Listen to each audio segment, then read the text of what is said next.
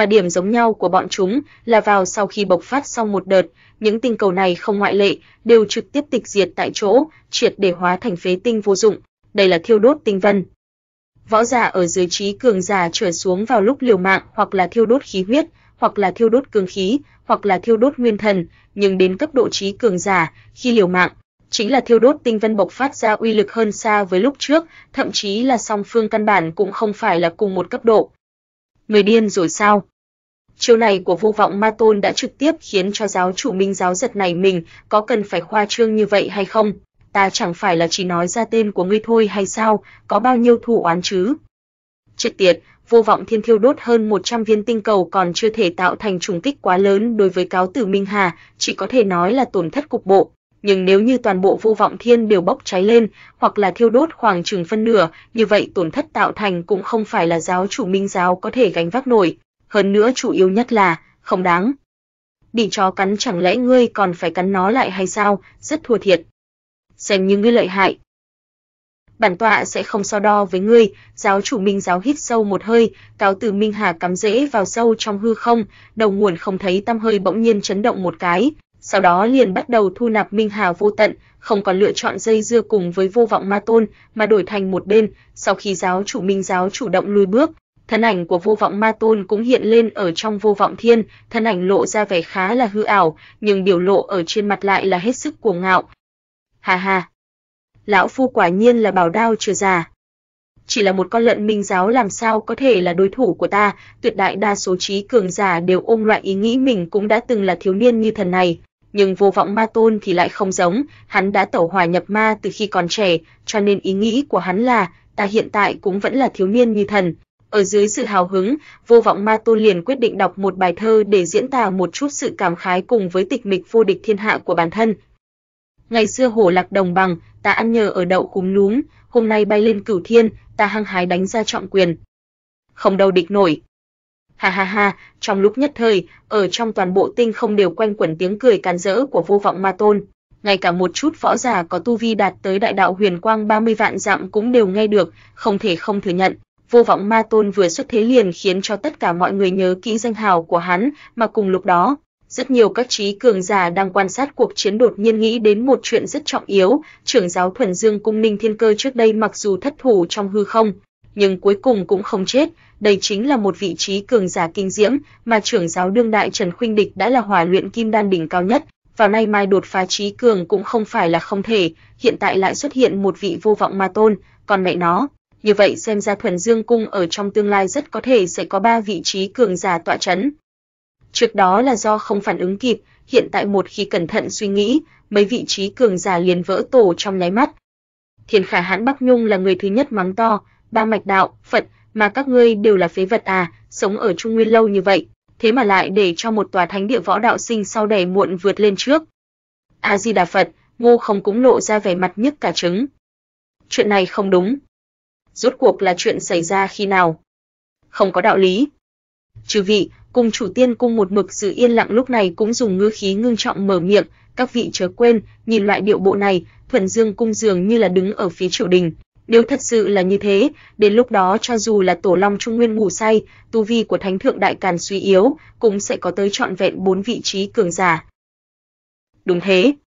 Cùng chủ tiên cùng vừa nói ra lời này, đám người vốn dĩ còn cảm thấy tổ long trung nguyên suy yếu, cơ hội hủy diệt đại càn nằm ở trong tầm tay, có nhiều trí cường giả liên thủ như vậy, còn cần phải sợ một cái đại càn không có tổ long trung nguyên, nhưng bây giờ xem ra nếu thực sự đến ngày đó, Ninh Thiên Cơ trở về, vô vọng ma tôn vẫn còn, Trần Khuynh Địch lại đột phá, còn chưa biết ai đánh ai đâu.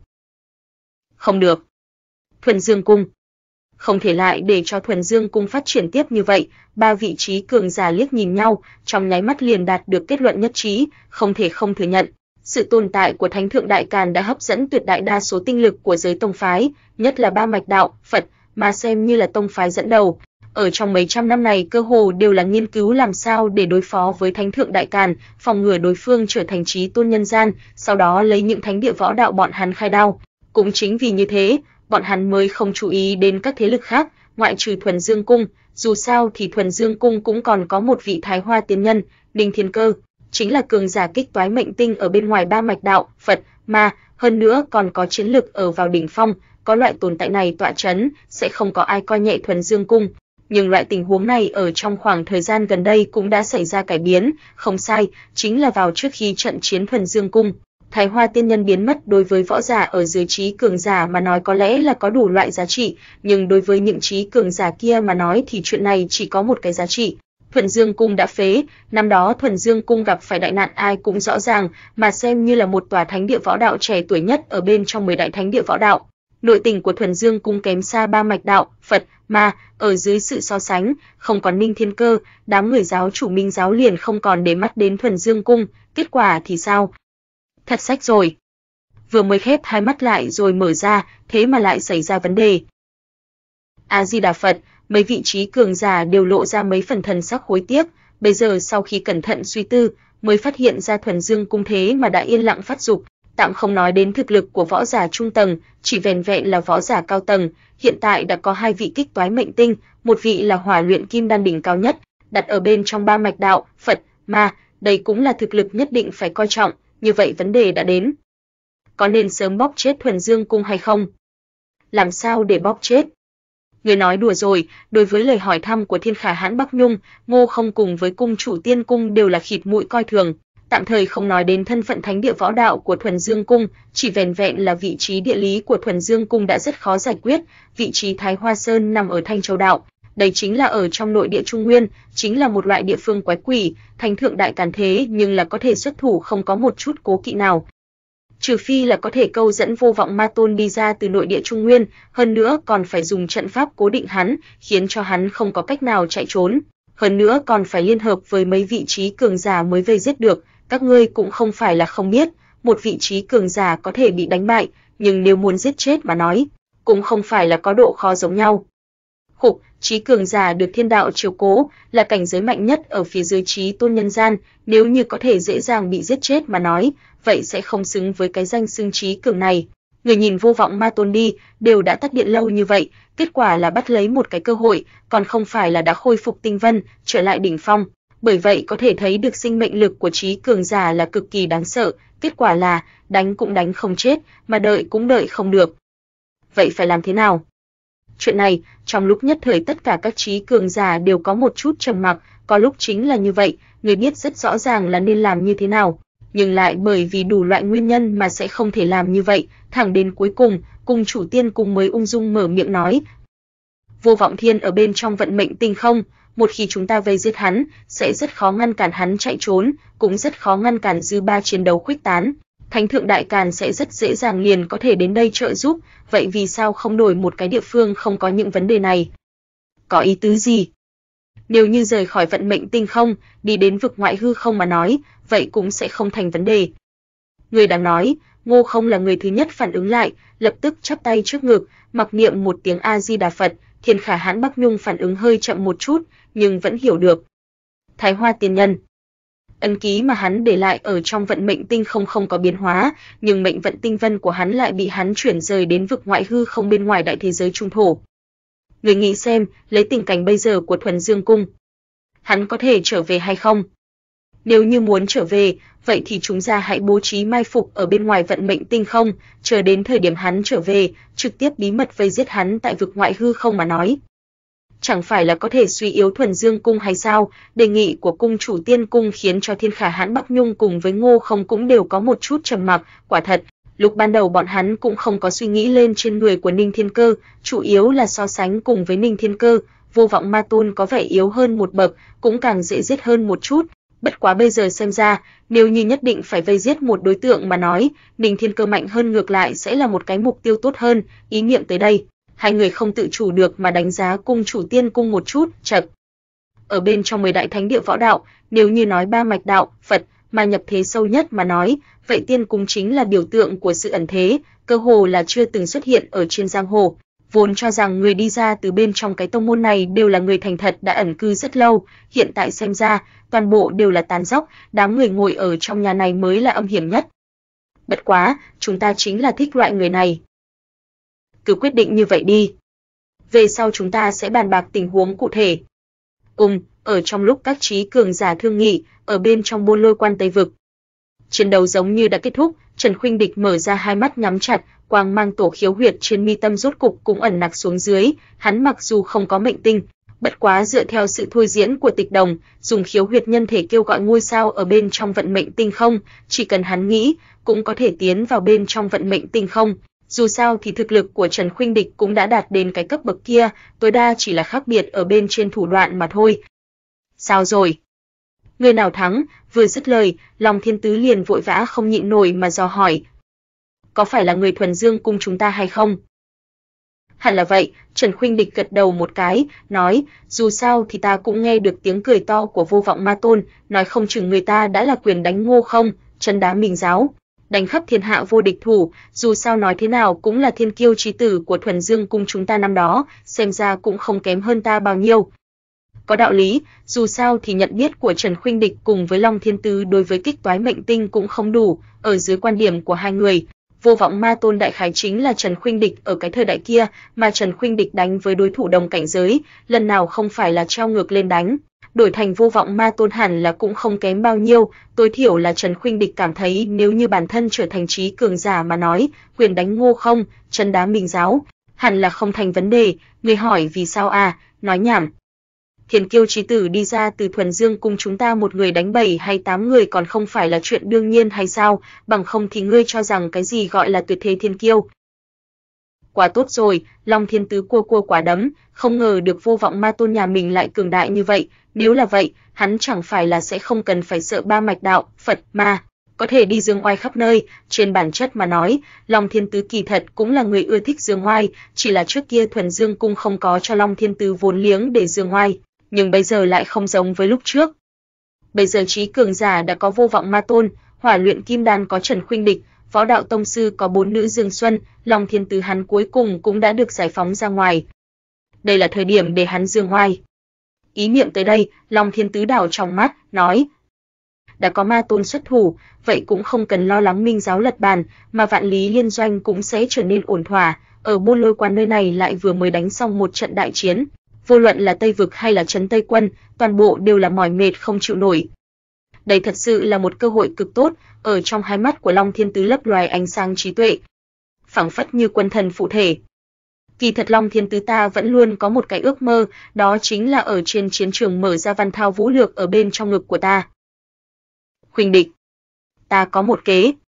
có thể giúp ngươi đại phá quân địch, nói thật, Trần Khuynh Địch có một chút bị giật mình, nói thật, Trần Khuynh Địch rất tự biết đối với năng lực của mình, mặc dù có tu vi không sai, thực lực cũng rất mạnh, nhưng hắn xác thực là không quá am hiểu sự tình cần động não, mà có một câu nói rất hay, vật học theo loài, gần mực thì đen gần đèn thì sáng, lăn lộn với hắn lâu như vậy, Long Thiên Tứ ở bên trên phương diện y quy tự nhiên cũng chẳng mạnh đến đâu, mà Long Thiên Tứ dạng này, thế mà lại nói hắn có một kế.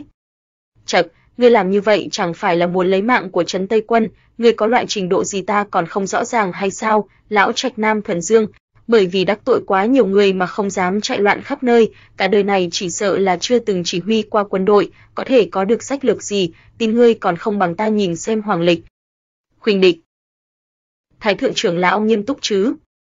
Đương nhiên, lúc này Long Thiên Tứ phảng phất như là bị quân thần bám vào người vậy, cường khí ở trong tay ngưng tụ thành một chiếc quạt lông, vừa kích động vừa sờ lên tròm râu bạc trắng của mình, mở miệng chính là một câu, nhớ lại trước kia.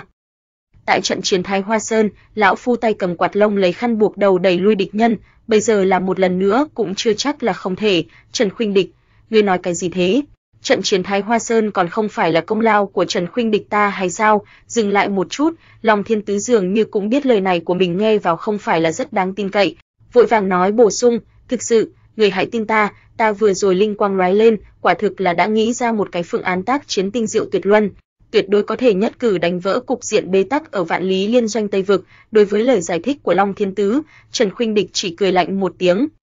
Phương án tác chiến tới từ đâu? Ta vừa mới nghĩ ra được.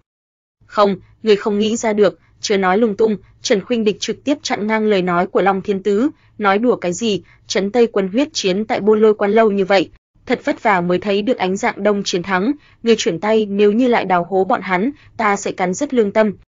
Tại sao ngươi lại không tin ta? Long Thiên Tứ gấp đến độ muốn giơ chân lên, ngươi cho rằng ta là kẻ lỗ mãng như ngươi hay sao? Nhìn qua trí kế vô song, trên thực tế căn bản chính là cái ngu giả trí, ban đầu ta còn chưa kịp phản ứng, nhưng ở trong khoảng thời gian này ta đã cẩn thận nghiên cứu một lần, mới xem như thấy rõ diện mục thật của ngươi, Trần Khuynh Địch. Nói năng bậy bạ. Thành danh Trần Khuynh Địch trí kế vô song của ta toàn bộ người giang hồ đều biết, ngươi đừng vội phỉ báng ta. Bằng hữu thì là bằng hữu, người lại nói lung tung cẩn thận ta sẽ trở mặt, quả thật, Trần Khuynh Địch là người trong nhà biết rõ chuyện nhà mình, Hắn biết rõ ràng bản thân cũng không phải là rất thông minh, nhưng đây cũng chỉ là tự mình biết, những người khác cũng không thể biết. Nếu không mặt mũi của cung chủ vạn thọ cung phải để vào đâu. Hừ, Long Thiên Tứ hừ lạnh một tiếng, nếu như là trước kia hắn còn có khả năng sẽ bị dao động, nhưng mà bây giờ hắn đã thấy rõ tên tiểu tử thúi Trần Khuynh Địch này, đương nhiên sẽ không chuột dạ, nói: "Chuyện của ngươi thì chính ngươi sẽ rõ ràng, nhưng lão phu cũng không giống." Năm đó nếu không phải lão phu chủ tài, Thuần Dương cung còn chưa nhất định có thể phát triển đâu. Nói dốc, Trần Khuynh Địch khịt mũi coi thường nói, Thuần Dương cung có thể phát triển, dựa vào chính là nghĩa phụ, người ta thế nhưng là có thực lực kích toái mệnh tinh.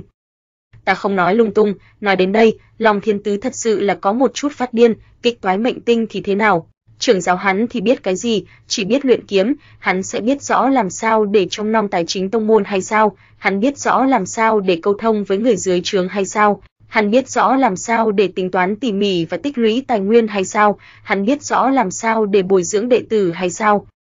Nếu như không có lão phu chống đỡ, chỉ có một mình hắn thì sẽ chả làm nên chuyện gì. Coi như là tên tiểu tử thúi nhà ngươi, tài nguyên tu luyện lúc trước vẫn là do lão phu làm ra từng chút một, nếu như nói tông chủ là nghĩa phụ của ngươi, ta tối thiểu là chú ruột của ngươi, năm đó ngươi ăn của lão tử uống của lão tử, hiện tại quay người liền trở mặt không quen biết, quả nhiên là thế phong nhật hạ lòng người rét lạnh. Trần Khuynh Địch càng nghe mặt càng đen, lão thất phu long thiên tứ này lại lên cơn vu lại, nghe hắn lẩm bẩm ở bên tai mình, giống như là muội kêu vậy. Cuối cùng Trần Khuynh Địch vẫn là không nhịn được. Tốt tốt tốt. Ngươi nói đi. Ta nghe ngươi nói còn không được sao? Để cho ta nghe xem thái thượng trưởng lão của chúng ta có mưu kế kinh thiên gì. Tốt, thấy Trần Khuynh Địch đã thỏa hiệp, lòng thiên tứ lập tức lên dây cót tinh thần, trở nên hăng hái, lập tức vung tay lên, hăm hở nói ra. Ta vừa mới nghĩ kỹ.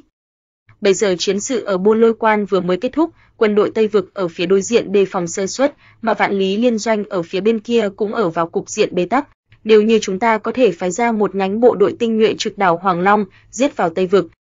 tin rằng Tây vực tất nhiên sẽ được cái này mà mất cái khác, chúng ta đốt bọn hắn, giết bọn hắn tại cảnh nội Tây vực, dần ra, Tây vực cũng sẽ bị bức rút lui. Đây chính là đạo lý vây ngụy cứu triệu mà ở trong binh pháp nói tới.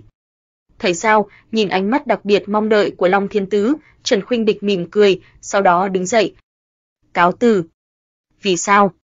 Kế sách hoàn mỹ của ta có vấn đề gì? Nói thật, Trần Khuynh Địch kỳ thật là không nhìn ra vấn đề gì, nhưng như vậy thì thế nào? Trần Khuynh Địch ta nhìn không ra vấn đề không phải là chuyện đương nhiên hay sao, điều này cũng không trọng yếu. Trọng yếu là Trần Khuynh Địch biết rõ kế hoạch này là do Long Thiên Tư nói ra, hơn nữa còn là một cái kế hoạch cần mạo hiểm, Trần Khuynh Địch thế nhưng là rất rõ ràng. Theo khoa học nghiên cứu cho thấy, lão nhân phàm là đã có tuổi, đều sẽ có một loại ảo giác mình chiếm được trí tuệ ở trên con đường nhân sinh dài dằng dặc, không thể phủ nhận. Xác thực có một bộ phận lão nhân ở bên trong kinh lịch nhân sinh lấy được trí tuệ, nhưng Trần Khuynh Địch tin tưởng, Long Thiên Tứ sẽ tuyệt đối không có ở trong đó. Mấu chốt là nếu như ngươi nói ra kế hoạch tương đối ổn thỏa, coi như thất bại cũng không có gì nguy hiểm mà nói, vậy thì cũng thôi đi, nhưng ngươi nói ra cái kế hoạch này, nghe xong chính là mạo hiểm, nếu thất bại buôn lôi quan tám, 9 phần 10 là sẽ gặp nguy hiểm, như vậy ta làm sao có thể tin tưởng ngươi, huống chi, Long Thiên Tứ một không có chiến tích, hai không có kinh nghiệm, ba không có uy vọng, một tên gia hỏa ở trong mấy chục năm không trải qua chiến tranh đột nhiên xuất hiện nói rằng ta có một kế có thể đại phá quân địch. May mà người này là Long Thiên Tứ, bằng không nếu Trần Khuynh Địch nhìn thấy loại người này, chính là đấm cho một quyền, để cho hắn nếm thử cái gì gọi là xã hội đánh đập. Tiểu tử thúi, ngươi đừng có như thế. Cái kế sách này của ta thực sự là có tính khả thi, Long Thiên Tứ thấy Trần Khuynh Địch hoàn toàn không có ý tứ tiếp thu, vội vàng tiếp tục nói, bày ra biểu lộ không cam tâm, nói trắng ra là sau khi phát hiện ra ở trên người của mình đã không có bất luận áp lực gì, cả người của Long Thiên Tứ cũng bắt đầu có một chút bành trướng, hơn nữa sở dĩ hắn nói ra cái kế hoạch này, cũng có một chút tâm tư nhỏ của bản thân, nghe nói tổng đàn minh giáo bây giờ đang ở bên trong Tây vực, đến lúc đó nói không chừng cũng có thể đi trộm. Không cần nói nữa. Ta cự tuyệt. Khục, thấy Trần Khuynh Địch sống chết cũng không đồng ý, Long Thiên Tứ rốt cục cũng có một chút thất vọng nhếch nhếch miệng, nhưng xoay chuyển ánh mắt, ánh mắt của hắn liền rơi vào trên người của Trương Tử Văn đang ở trong quân doanh lúc này, chờ đến thời điểm Trần Khuynh Địch nhận được tin tức thì đã chậm. Người nói cái gì? Lão thất phu kia đã đích thân mang người rời khỏi buôn lôi quan. Trần Khuynh Địch lộ ra vẻ mặt không thể tin được mà nhìn Trương Tử Văn, giống như là nhìn thần tiên vậy. Trong óc của ngươi có vấn đề phải không? Không phải, Trần Khuynh Địch lộ ra vẻ mặt phát điên nói, sao ngươi lại để cho hắn dẫn người rời đi, hắn mang theo bao nhiêu người, tại sao phải đi? Không phải là vì cái kế hoạch quỷ quái kia của hắn đó chứ?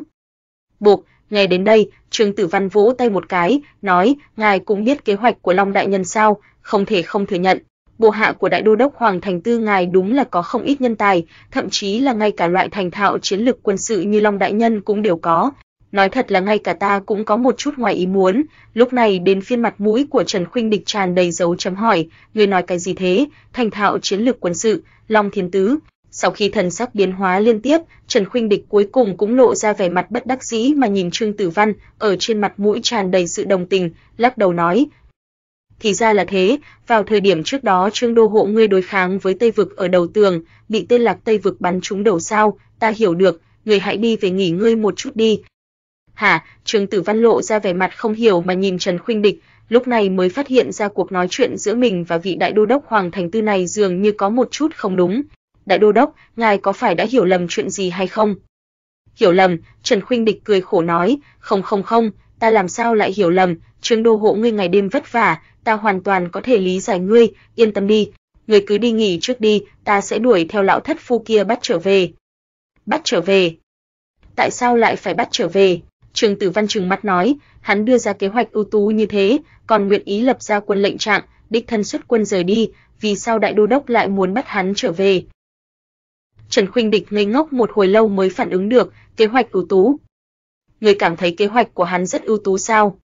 Đúng thế, Trương Tử Văn lộ ra vẻ mặt đương nhiên, thừa dịp đại quân Tây vực đều đang ở Bôn Lôi Quan cùng với bên trong Vạn Lý Liên doanh, xuất lĩnh một nhánh kỳ binh thâm nhập hậu phương địch nhân, sau đó quân ta lại tiến hành phối hợp, đây không phải là một kế hoạch cực kỳ tuyệt vời hay sao? Mặc dù có nguy hiểm nhất định, nhưng ta tin rằng lấy ánh mắt của Long đại nhân là sẽ không có vấn đề. Huống hồ tu vi của Long đại nhân cũng rất mạnh. Có cường giả hỏa luyện kim đan mà nói, ta cũng rất yên tâm. Có cái gì không đúng sao? Không đúng toàn bộ đều không đúng có hiểu hay không, trong cái chớp nhoáng này, Trần Khuynh Địch thật sự là có một chút hoài nghi thời đại có phải đã thay đổi hay không. Kỳ thật là đồ đần ở Thuần Dương cung chỉ có một mình hắn, Long Thiên Tứ mới là trí kế vô song ẩn núp, không không không. Tuyệt đối không có khả năng này. Nhất định là có chỗ nào xảy ra vấn đề. Lão thất phu kia mang ai theo, ngoại trừ viện quân của Thuần, viện quân của Hoàng Thành Tư, Trương Đô hộ ngươi cũng sẽ không cho hắn thêm binh mã đó chứ. Đương nhiên là cho. Trương Tử Văn ngẩng đầu gẫn ngực, nói, thật hiếm khi có tướng lĩnh sẵn sàng giúp đỡ quốc gia, thậm chí còn không ngần ngại gặp nguy hiểm, Trương Tử Văn ta làm sao có thể không bỏ ra một phần lực, ta đã giao toàn bộ cứu thiên kỵ mà ta bí mật bồi dưỡng cho hắn, hơn nữa mỗi một binh sĩ đều được trang bị ít nhất hai thớt chiến mã. Tin rằng Long đại nhân nhất định sẽ không khiến cho ta và đại đô đốc ngài thất vọng, xong đời rồi. Khóe miệng của Trần Khuynh Địch điên cuồng run rẩy không có cách nào khống chế, đây rõ ràng chính là đưa dê vào miệng cọp, cặp quỷ. Quan trọng nhất là, lão thất phu kia thế mà hoàn toàn không thèm nói với mình liền rời đi. Bằng vào một chút tu vi kia ở trong Tây vực bây giờ thì có thể làm gì, nếu thật sự phá hủy một cách trắng trợn, mình giáo không xuất thủ ngăn cản mới là lạ, không phải là trang bức quá lâu đã coi mình thực sự vô địch đó chứ, không được, mình cũng không thể ngồi nhìn mặc kệ. Trường đồ Hộ lão thất phu kia đã ra khỏi thành được bao lâu? Không được bao lâu, Trương Tử Văn không hề lo lắng nói ra, trước đó ta và Long Đại Nhân đã thương lượng qua, trải qua sự quan sát trong thời gian dài của ta. Ta đã nắm giữ cơ bản phân bố của quân đội Tây Vực ở phía đối diện, lấy năng lực của Long Đại Nhân, hiện tại cũng đã phát động phá vây rồi, không mất bao lâu liền có thể giết vào nội địa Tây Vực. Đến lúc đó chúng ta cũng có thể.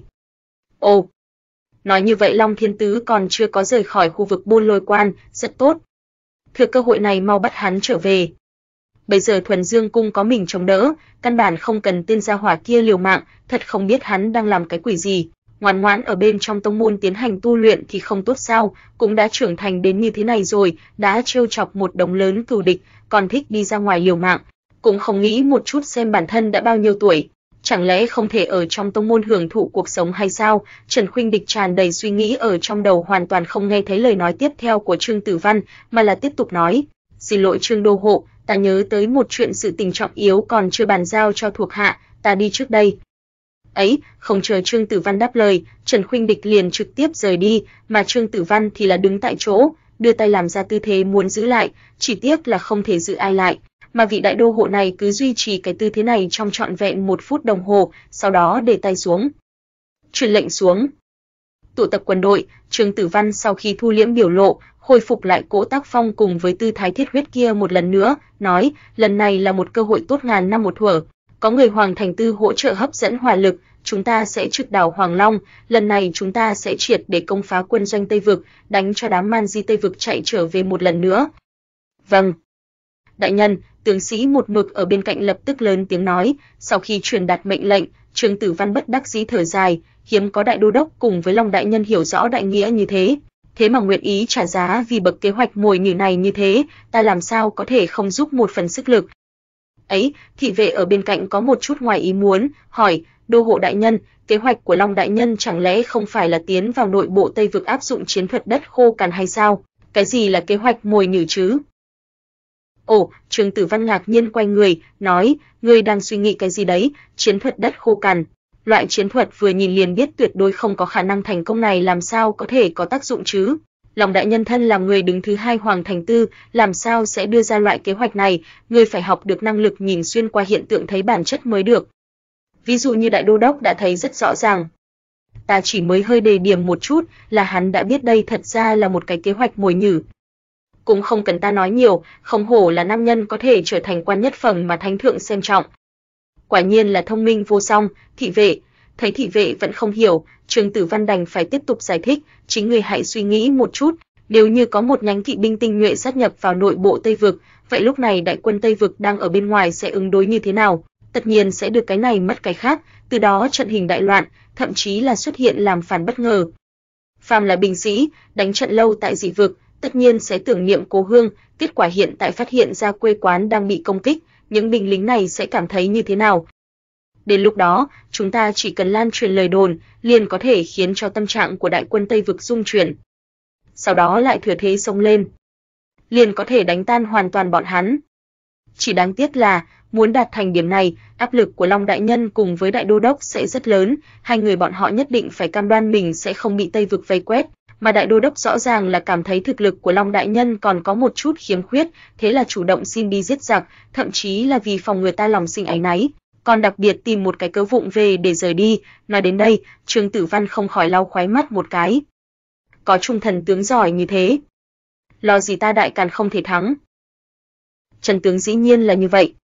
Tâm tình của Long Thiên Tứ lúc này là rất cao hứng, nhìn đại quân dưới trướng, Long Thiên Tứ hận không thể lập tức triển lộ tài trí kinh người của mình, sau đó tới một màn trong lúc nói cười địch nhân tan thành mây khói, bất quá lý trí đã nói cho hắn biết, chuyện này là không thực tế, cho nên tâm tình của Long Thiên Tứ lúc này dù là đặc biệt bành trướng, vì tính mệnh của những thủ hạ tinh binh này, hắn vẫn giữ vững tỉnh táo. Huống chi lúc này quân đoàn thuần dương cung cũng đã bị hắn mang ra ngoài, liền càng phải thật cẩn thận, chỉ cần hơi sai lầm, nói không chừng sẽ chính là toàn quân bị diệt.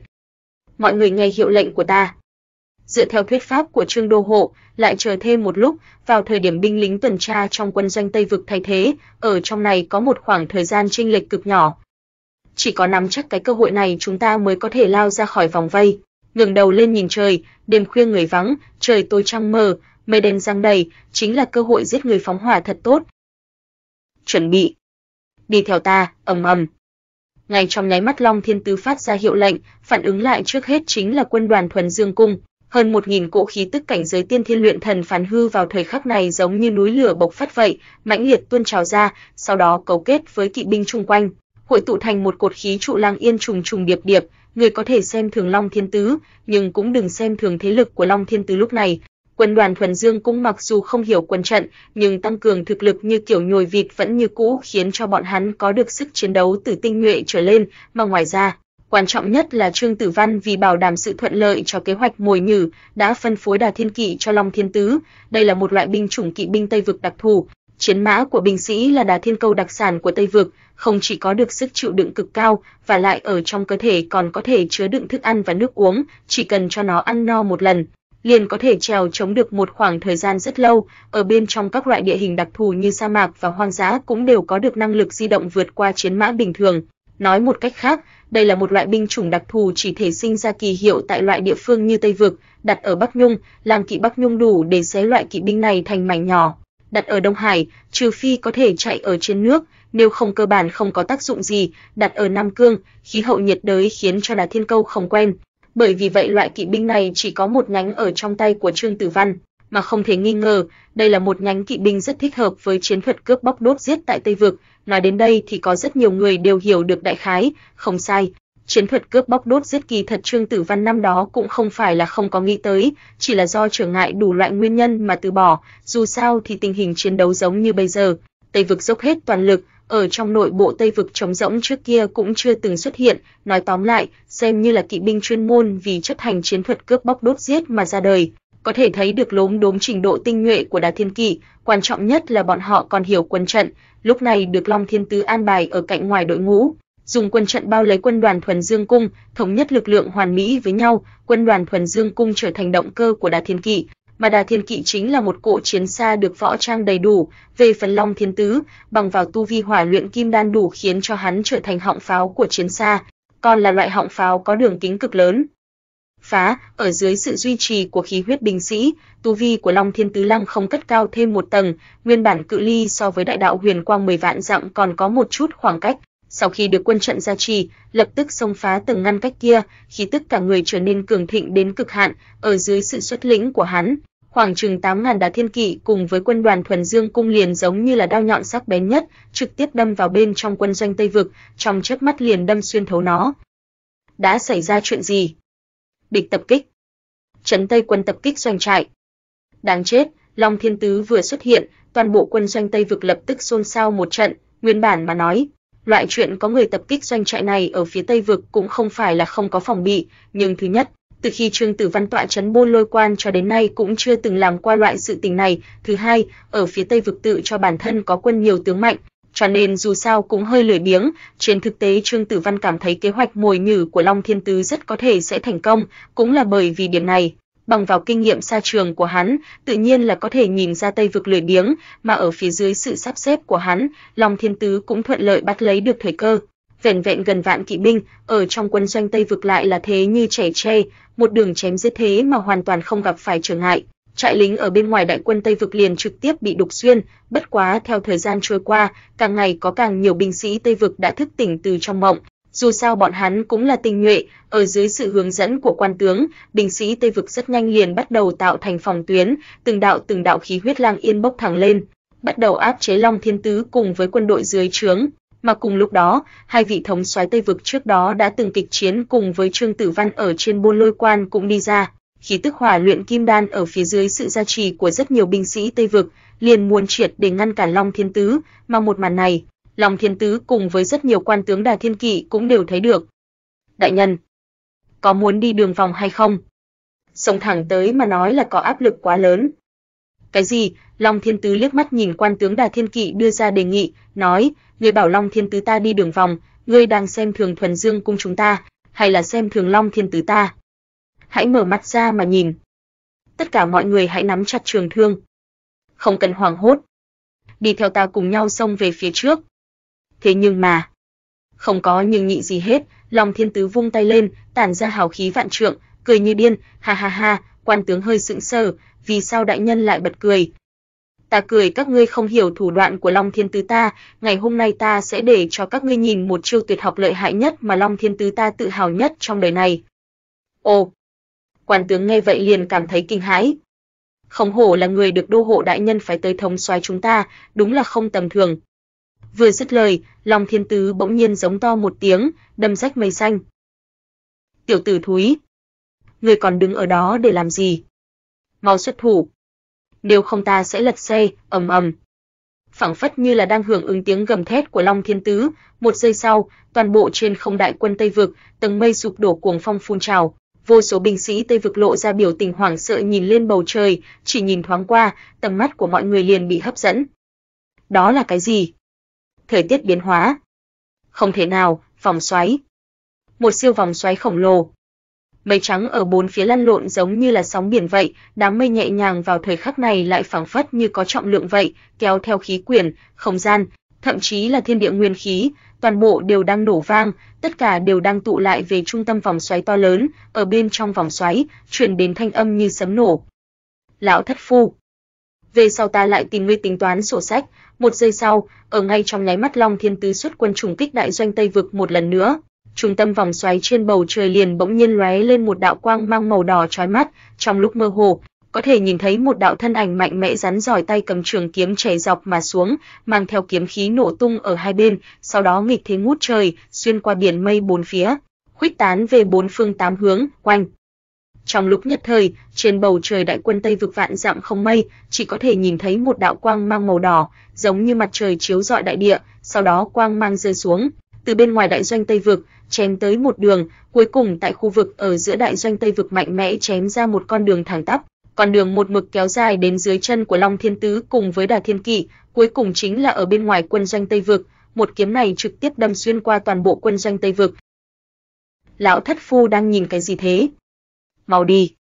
Ha ha ha ha, rõ ràng là bị người giận dữ mắng mỏ, Long Thiên Tứ lại không hoảng loạn một chút nào, ngược lại còn cười đến càng vui vẻ hơn, cười đến nước mắt đã sắp chảy ra, thậm chí còn hướng về phía quan tướng Đà Thiên Kỵ đang kinh hãi ở bên cạnh, nói ra: "Có thấy được không, đây chính là tuyệt chiêu mà ta tự hào nhất, thế nào, ta có lợi hại hay không, Thuần Dương cùng chúng ta có mạnh mẽ hay không?" Còn chờ cái gì, có đuổi ôm to như vậy, tất cả đều nâng cao tinh thần cho ta.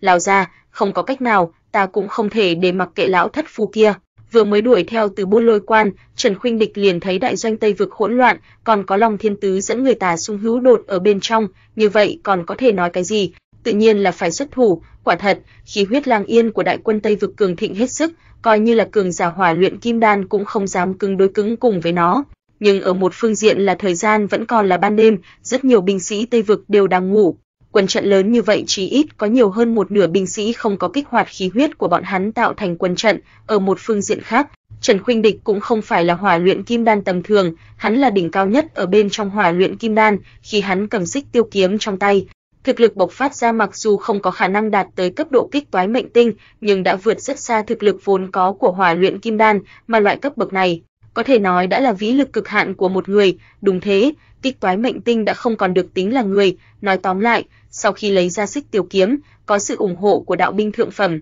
Trần Khuynh Địch đã toàn lực ứng phó không giữ lại một chút nào, lại là thừa dịp đánh lén lúc ban đêm, thiên thời địa lợi nhân hòa đều ở phía bên mình. Tràng cảnh mà Trần Khuynh Địch tạo nên cơ hồ đã khiến cho từng vị binh sĩ cùng với tướng lĩnh đại quân Tây vực rung động, thậm chí là ở phía Bôn Lôi Quan, Trương Tử Văn cũng đều là há to miệng, lộ ra bộ dáng không thể tin, phải biết rằng, vô luận là Trương Tử Văn hay là rất nhiều binh sĩ tướng lĩnh trong trấn Tây quân, bọn họ đều là một thành viên trong quân đội. Thứ bọn họ tôn trọng cũng không phải là vĩ lực cá nhân, mà là bạo lực tập đoàn, bởi vậy những người này hoặc nhiều hoặc ít đều có một chút xem thường đối với những võ giả độc lai độc vãng tôn trọng thực lực cá nhân, mà lực lượng của quân đội cũng khiến cho bọn họ có thể bỏ mặc tuyệt đại đa số võ lực cá nhân, nhưng bây giờ, bọn họ đã thấy được võ lực cá nhân cực hạn chân chính, khoảng cách so với cảnh giới kích toái mệnh tinh không còn là người kia chỉ sợ cũng chỉ còn cách xa có một bước, kiếm quang mà Trần Khuynh Địch vung xuống, thậm chí còn lưu lại một cái hào sâu ở trong đại doanh Tây vực, kiếm khí quanh quẩn ở chung quanh hào sâu, khiến cho binh sĩ Tây vực thậm chí còn không dám đến gần, kết quả là mấy chục vạn đại quân Tây vực, mỗi một người đều là cường binh hãn tướng nắm giữ kinh nghiệm xa trường, cuối cùng lại chỉ có thể trơ mắt nhìn Long Thiên Tứ cùng với Đà Thiên Kỵ đạp trên con đường mà Trần Khuynh Địch mở ra, một đường xuyên qua toàn bộ quân doanh, sau đó rời khỏi chiến trường, cứ như vậy nghênh ngang rời đi. Triệt tiệt. Hắn làm sao dám, làm sao dám? Vì sao lại thành như thế này? Hỏa luyện kim đan của chúng ta đâu, đại nhân, vì sao vừa rồi các vị không xuất thủ? Đối mặt với sự chất vấn của thuộc hạ, hai vị thống soái đại quân Tây vực lộ ra vẻ mặt yên lặng, sau đó khổ sở liếc nhìn nhau một cái, xuất thủ, nghe thử xem đây đều là tiếng người sao. Ta thấy ngươi rõ ràng chính là đang làm khó ta. Nói, có phải là muốn chờ sau khi ta chiến tử liền tiếp nhận vị trí của ta hay không, ngày mai ta sẽ an bài ngươi vào bên trong đội ngũ cảm tử tiến công môn lôi quan. Bất quá mặc dù oán thầm ở trong lòng, hai vị thống soái Tây vực cũng không tự chủ được mà sinh ra suy nghĩ như nhau, bọn họ không hẹn mà cùng nhìn về phía trung ương đại doanh Tây vực, Thân làm cao tầng đại quân Tây vực, bọn họ rất rõ ràng, một trong những trụ cột của liên minh 36 quốc Tây vực, Lâu Lan Vương chính là đang ở chỗ này. Nhưng vấn đề là, vì sao Lâu Lan Vương không xuất thủ, suy bụng ta ra bụng người, hai vị thống soái Tây vực rất nhanh liền nghĩ đến một cái chân tướng khiến cho bọn hắn không khỏi run sợ. Cho dù là Lâu Lan Vương cũng lo lắng sau khi xuất thủ sẽ bị người ở bên trong tầng mây kia tiêu diệt. Đáng chết. Tên gia hỏa kia là ai? Nói cho ta biết. Hoành võ. Người kia là ai? Không phải là võ nguyên hanh đến đó chứ? Tại sao lại có thể như vậy? Ở trung ương đại doanh Tây Vực, Lâu Lan Vương đang lộ ra vẻ mặt phát điên mà gầm thét đối với Hoành Võ Đế, dùng chuyện này để che giấu sự thật hắn có một chút bị hù dọa. Không sai, hắn đã bị giật mình. Uy lực của một kích kia có 100% tiêu chuẩn bình cao nhất, coi như là ta, cũng chỉ có ở trong thủ đô Lâu Lan, mượn nhờ toàn bộ trận pháp và địa mạch của Lâu Lan Thành, mới có thể đăng lâm tới cái cảnh giới kia trong một thời gian ngắn, thậm chí là còn rất miễn cưỡng, 8, 9 phần 10 vẫn sẽ đánh không lại người mới vừa xuất thủ kia. Hoành Võ Người có biết điều này có ý vị gì không, Hoành Võ? Đối mặt với tiếng gầm thét của Lâu Lan Vương, Hoành Võ Đế trái lại là rất bình tĩnh, điều này nói rõ chỉ cần đối phương muốn, hắn tùy thời có thể xông vào thủ đô của ngươi, bắt ngươi ra từ trong vương cung, sau đó ở dưới hàng trăm con mắt nhìn chừng chừng xử lý ngươi, mà ngươi ngay cả một chút biện pháp làm gì hắn cũng không được. Không sai. Đáng chết, Hoành Võ Đế cười cười, nói, bình tĩnh một chút đi ăn quy, đừng hốt hoảng, bây giờ ngươi đang đứng ở trung tâm quân doanh, khí huyết của đám binh sĩ sẽ bảo vệ ngươi, một kiếm kia mặc dù lợi hại, nhưng cũng không giết được ngươi. Khục, Lâu Lan Vương nhếch nhếch miệng, vậy thì có tác dụng gì, ta cũng không thể vĩnh viễn đợi ở trong quân doanh. Hắn là ai? Hoành Võ, người biết hắn đúng không? Tần Võ Dương cũng biết hắn, trước đó ta đã nhìn thấy hắn, nhưng ta không ngờ được hắn thế mà có thực lực như thế, là Võ Nguyên Hành sao? Không đúng, nếu là như thế ngươi sẽ không bình tĩnh như thế, hắn là ai? Hoành Võ. Ngươi vì sao không sớm nói cho ta biết? Hoành Võ Đế vẫn lộ ra biểu lộ sâu không lường được, ở trong lòng lại không nhịn được mà chửi má nó, ta không nói sớm cho ngươi, nói nhảm. Bởi vì trước đó ta cũng không biết. Mẹ nó, lúc này mới qua bao lâu, vì sao Trần Khuynh Địch lại đột nhiên trở nên mạnh như vậy chứ? Hoành Võ Đế biết rõ chiến tích của Trần Khuynh Địch, nhưng biết thì biết, có lúc chỉ có khi ngươi tận mắt nhìn thấy mới có thể thực sự cảm nhận được chỗ đáng sợ trong đó, mà tình huống của Trần Khuynh Địch cũng chính là như thế một nhân vật có thể so với võ nguyên Hanh hỏa luyện kim đan đỉnh cao nhất, trên chiến trường cơ hồ liền tương đương với trăm vạn viện quân, tương phản, vương bài lớn nhất ở phía bên mình. Giáo chủ Minh giáo đã bị phong tỏa, trước đó Hoành Võ Đế cũng phát giác được trận chiến đấu ở trong tinh không, như vậy vấn đề đã đến, trí cường giả không có cách nào nhúng tay, ai có thể ngăn cản được tên gia hỏa Trần Khuynh Địch này, ngay vào thời điểm Hoành Võ Đế âm thầm cắn răng, liều mạng suy tư nên làm như thế nào để giải quyết Long Thiên Tứ cùng với Trần Khuynh Địch lao ra khỏi vòng vây, một thanh âm lại đột nhiên vang lên ở bên tai hắn, không cần lo lắng. Ta sẽ giải quyết Thuần Dương Cung. Là giáo chủ Minh giáo.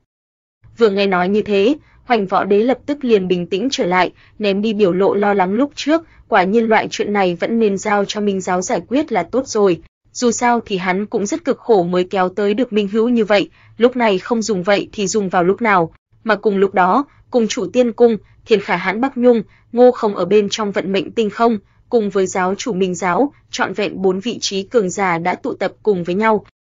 Liền quyết định như vậy. Hiện tại chúng ta sẽ đi đến thiên ngoại bắt đầu bố trí, một khi Minh Thiên Cơ trở về, liền lập tức ra tay với hắn. Bất quá mọi thứ cũng cần phải có chuẩn bị chu toàn. Nhất định phải chú ý đối với Trần Khuynh Địch sẽ rất có thể tấn cấp kia. Làm thế nào? Ngô không nhíu mày nói, lấy cảnh giới của chúng ta, chẳng lẽ còn muốn lấy lớn hiếp nhỏ, đối phó với một võ giả hòa luyện kim đan, cuồng chi vô vọng ma tôn vẫn còn, coi như chúng ta quyết định lấy lớn hiếp nhỏ, cũng chưa chắc có thể thành công.